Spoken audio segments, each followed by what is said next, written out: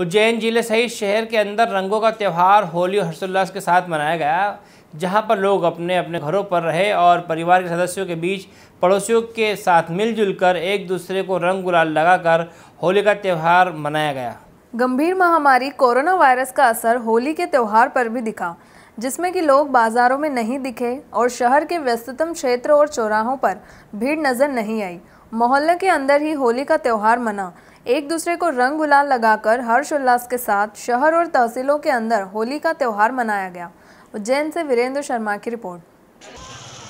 ऐसा पहली बार देखने को आ रहा है कि जहाँ कोरोना वायरस के मद्देनज़र इस बार जो है शहर की अगर बात करें, जितने भी शहर के तमाम मोहल्ले हैं, वहाँ पर जो है होली का त्यौहार जो है लोग घरों पर रहकर मना रहे हैं और शांतिपूर्ण तरीके से जो है शहर के अंदर होली का त्यौहार मनाया जाता है मनाया जा रहा है। जहाँ देखें तो जहाँ इस बार जो है कोरोना का महामारी का असर दिखाई दे रहा है और लोग जो है घरों से कम ही बाहर निकल रहे हैं और लोग अपने अपने घरों के बाहर जो है मोहल्ले में, जो अपने दोस्त हैं, परिचित हैं, उनके बीच में जा रहे हैं और होली की जो परंपरा है, उसका निर्वहन कर रहे हैं। एक दूसरे के चेहरे पर प्यार, भाईचारा और जो रंगों का त्यौहार है, होली का, मना रहे हैं। उज्जैन से Virendra Sharma voice of rights के लिए।